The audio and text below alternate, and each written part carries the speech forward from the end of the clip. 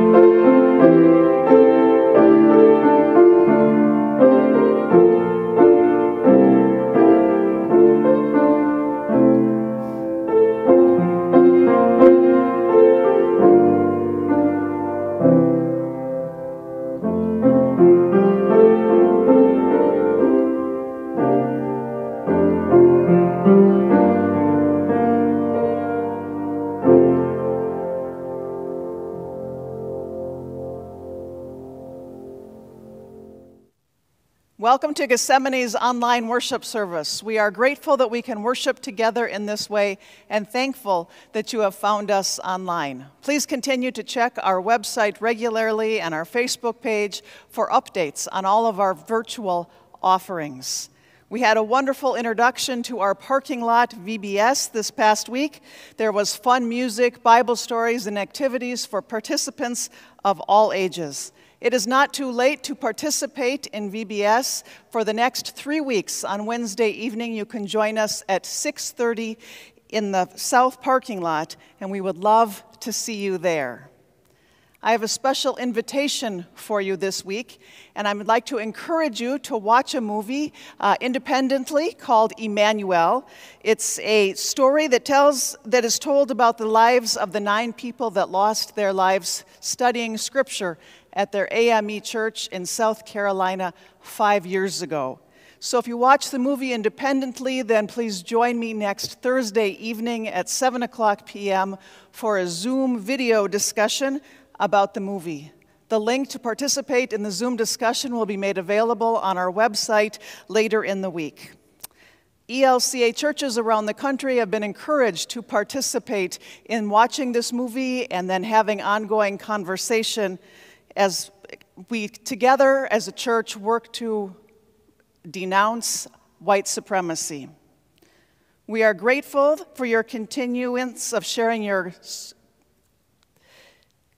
signs of grace with us. You can continue to send them in to our website or post them on your social media platforms. We are keeping them as part of our worship services because they remind us that God's grace surrounds us and grounds us in the midst of all of the uncertainty and brokenness in our world.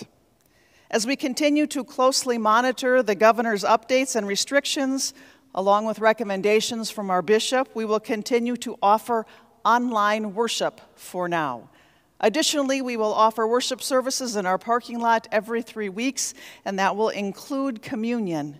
Some ministry groups are beginning to meet in our building as well with new guidelines so that we can keep our community safe.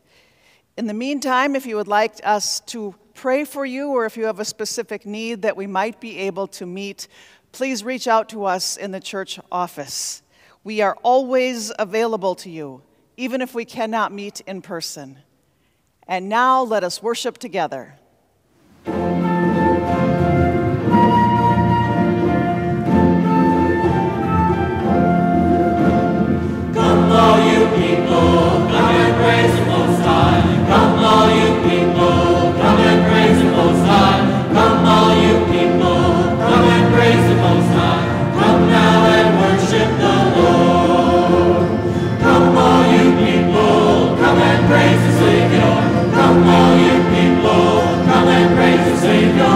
Come on.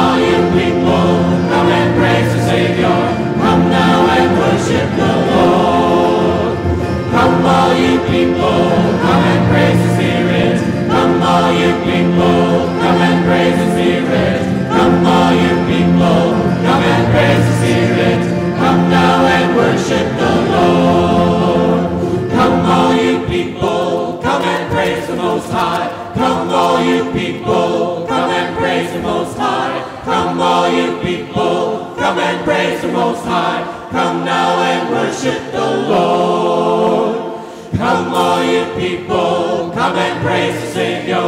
Come, all you people, come and praise the Savior. Come, all you people, come and praise the Savior. Come now and worship the Lord. Come, all you people, come and praise the Spirit. Come, all you people, come and praise the Spirit. Come, all you people, come and praise the Spirit. Come now and worship the Lord. Let us pray. Make a joyful noise to the Lord, all the earth. We give thanks for this good earth, your gift to us and our home, and we pray for wisdom and gentleness to care for your creation, O God. Worship the Lord with gladness. Come into God's presence with singing. We gather with grateful hearts, remembering your mercy and strength, your justice and your compassion, your goodness and your grace. Know that the Lord is God. we may live that we know of you and strive for what we seek, O God. We are God's people and the sheep of God's pasture. In humility, we pray for the entire human family, remembering those in need and those who are alone, dishonored, or excluded. Enter God's gates with thanksgiving and God's courts with praise. Move us through thanksgiving and praise to action. Use us to heal whenever there is violence and harm. Give thanks to God. Bless God's name. May we embrace your just purpose, O God, and offer ourselves in prophetic witness. For the Lord is good. We pray for your goodness to flow outward, flooding this world with love. God's steadfast love endures forever. We pray for your loving purpose in every life this day and into the days to come. and God's faithfulness to all generations. Amen. Our gospel reading for this Sunday comes to us from the ninth chapter of Matthew's gospel, starting with the 35th verse. Then Jesus went about all the cities and villages, teaching in their synagogues and proclaiming the good news of the kingdom, and curing every disease and every sickness. When he saw the crowds, he had compassion on them, because they were harassed and helpless, like sheep without a shepherd. And then he said to his disciples, The harvest is plentiful, but the laborers are few. Therefore, ask the Lord of the harvest to send out laborers into his harvest. Then Jesus summoned his twelve disciples and gave them authority over unclean spirits to cast them out and to cure every disease and every sickness. See, I am sending you out like sheep into the midst of wolves. So be wise as serpent and as innocent as doves. Beware of them, for they will hand you over to councils and flog you in their synagogues. And you will be dragged before governors and kings because of me, as a testimony to them and the Gentiles. And when they hand you over, do not worry about how you are to speak or what you are to say, for what you are to say will be given to you at that time. For it is not you who speak, but the Spirit of your Father speaking through you. Brother will betray brother to death, and father to his child, and children will rise up against their parents and have them put to death. And you will be hated by all because of my name. But the one who endures to the end will be saved. And when they persecute you in one town, flee to the next. For truly I tell you, you will not have gone through all the towns of Israel before the Son of Man comes. Here ends the reading. Warning the following program contains some challenging dialogue. Viewer discretion is advised. See, Jesus says, I'm sending you out like sheep into the midst of wolves. Who would have thought that we'd ever get to the point where we'd much rather talk about politics over the Thanksgiving table than deal with the realities of our world today? I mean, seriously, where can we start? Whether it's coming to grips with the death of George Floyd, with the civil unrest in our cities or around the globe, the call to reflect on our own learned patterns of racial bias or a culpability in perpetuating a system that might not work for everyone, but it works well enough for us, so we're not going to rock the boat. Are we called to march in the streets or support our first responders, to tear down the walls of justice or just hug our neighbors? Someone said to me, You know, I don't buy all this white privilege stuff. I just live my life by the golden rule and treat one another as human beings and, and live in peace which works until that one or other neighbor that you're at peace with can't breathe because our system has a knee to the back of their neck. I warned you at the beginning. If you were looking for some kumbaya type of sermon, you best turn to another TV preacher who will skip right over all the hard parts of life, much less the hard parts that are found in our scripture, because what we have today we have work. Anyone who says that Scripture doesn't speak into the realities of our life isn't reading the Bible. I mean, are you kidding me? Matthew 9, on this day, a sign for the second Sunday after Pentecost? I mean, this is a three year cycle that was created centuries ago. It was re edited decades ago, and it's used across the globe in hundreds, thousands, millions of churches. And into the racial turmoil of our day, we get, see, I'm sending you out like sheep into the midst of wolves. Now, you can go ahead and claim that Jesus wasn't talking about the societal conflict of institutional racism or police reform, but I don't think you really want to talk about what he was really pointing at the selfish sin that lies within each of us, and the privilege of power that we will wield to protect our own self interest. A sin that keeps us each from being united as the diverse and beautiful creation that God created us to be. I got to admit, I'm convicted by this text. And when Christ entered these same towns and the countryside and the cities, he saw the suffering. Verse 36 reminds us when he saw those crowds, he had compassion because they were harassed and they were helpless, like sheep without a shepherd. And when he said this, he said to his disciples, This harvest is plentiful, but the laborers are few. Indeed, the harvest is plentiful, but where are the laborers? Where are they? Well, Jesus did something about that. And that is the good news. Jesus summoned his disciples and he gave them authority authority over unclean spirits to cast them out, to cure every disease and every sickness. But guess who are the disciples now? That's the bad news. It's you. I know you're all torn up. We're all torn up by what is happening. I'm reading your Facebook posts, I'm reading your emails and your tweets. I hear all the time, I don't know where to begin or what to say. Well, Jesus gave us very, very clear instructions. Start right in your own home. He told his disciples, Don't feel like you have to run off and save the whole world. Rather, go to those lost sheep in your own country, in your own neighborhoods, in the house of Israel. Go to your own people and start with your family, with your friends, with your relatives, with our church. Having difficult conversations about race, call to any comment that might ridicule others or make judgments about others. Call them to the table. Views that paint someone unfairly. This is where we're called to go.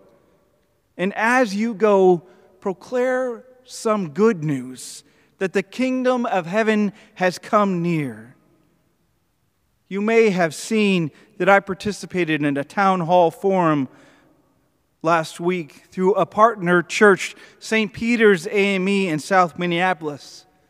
I was invited to be a panelist speaking together with others about the realities of race in Minneapolis, how we got here and where we need to go. And when it was pointed out that we are called to be an ally against racism and have those difficult conversations with our families and with our friends, the moderator turned to me and asked, Well, Pastor John, is the white church ready to start this work? My reply, No. I mean, she was so taken aback. She's like, Well, I kind of expected a more hopeful answer, but I had to be honest.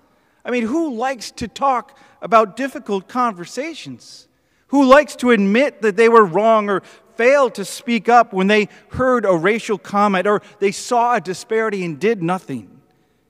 we are faced with a shame filled culture and already have enough hang ups ourselves. Repent for racism?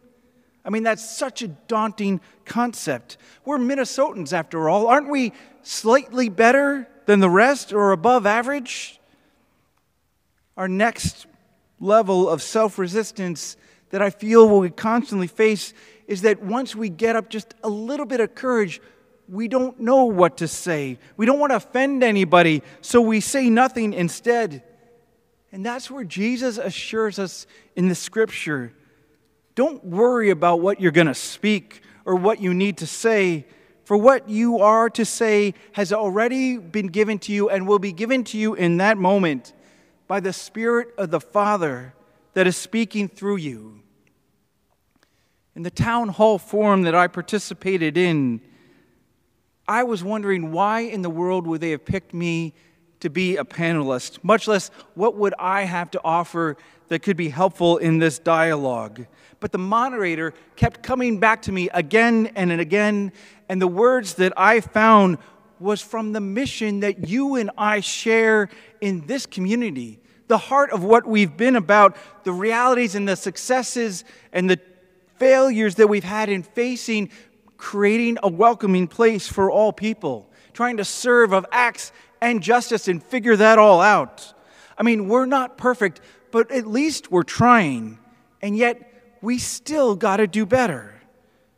When we approach conversations on race with humility and with integrity, that's when we invite our family members to share their own views on this and we're invited back to share what God places on our own hearts.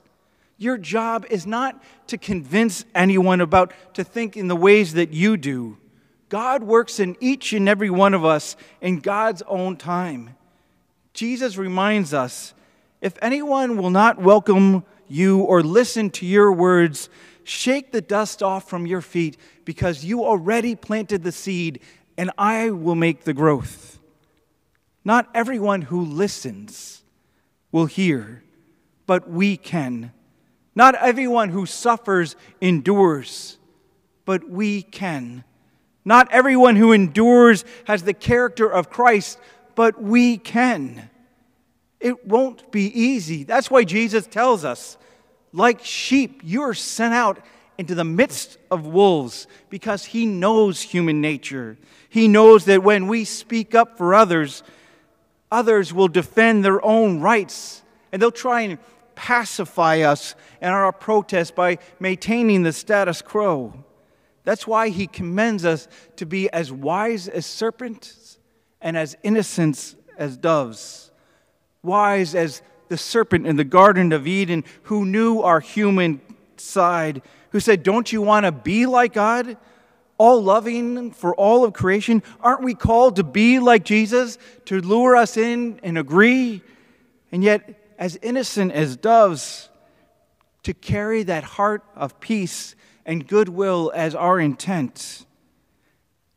Whenever we speak up, it's going to cause division.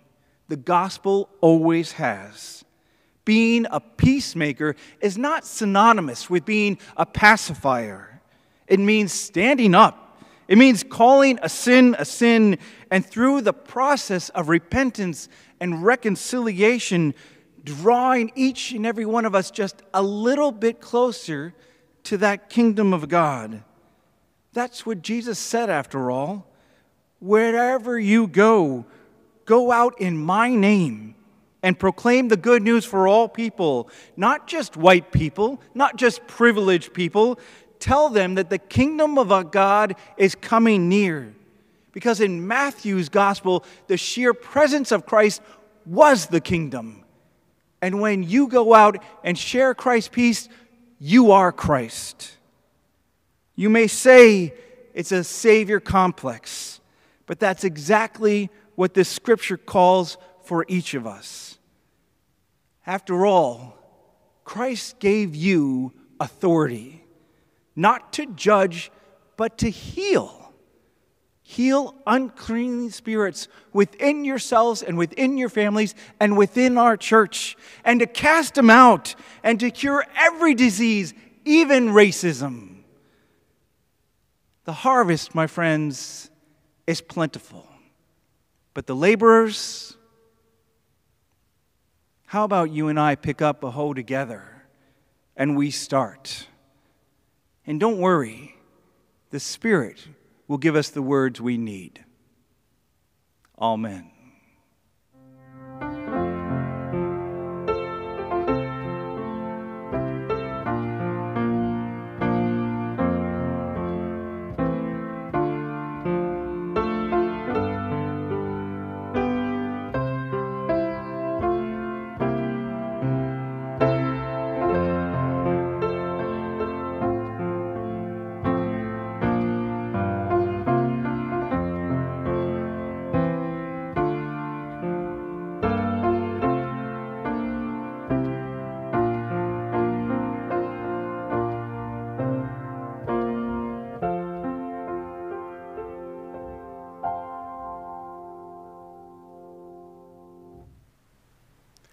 Called into unity with one another and the whole creation, let us pray for our shared world.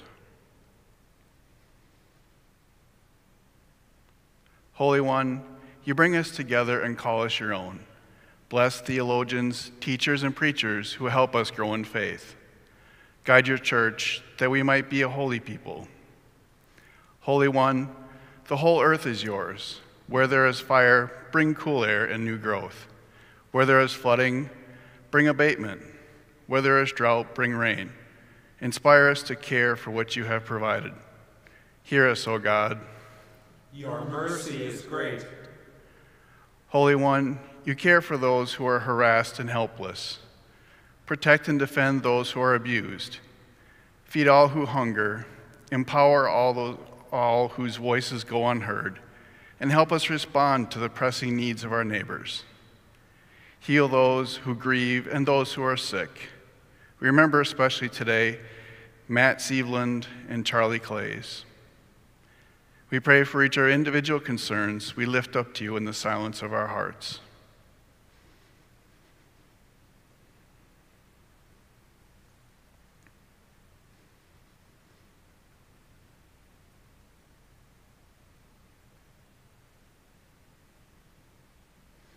Comfort their hearts and ours with your healing presence. Hear us, O God. Your mercy is great. Holy One, we have created divisions you will not own. We pray for change and healing in our communities and nation as we seek racial equity and justice. Raise up leaders who work to develop lasting peace and reconciliation. Holy One, prepare us to labor and gather the fruits of this congregation, that we might discover new ways of living. Minister to us in our work, that we do not lose heart. We pray for our congregation partner, Iglesia Concordia, that our connection with them may be strengthened through you. Hear us, O God.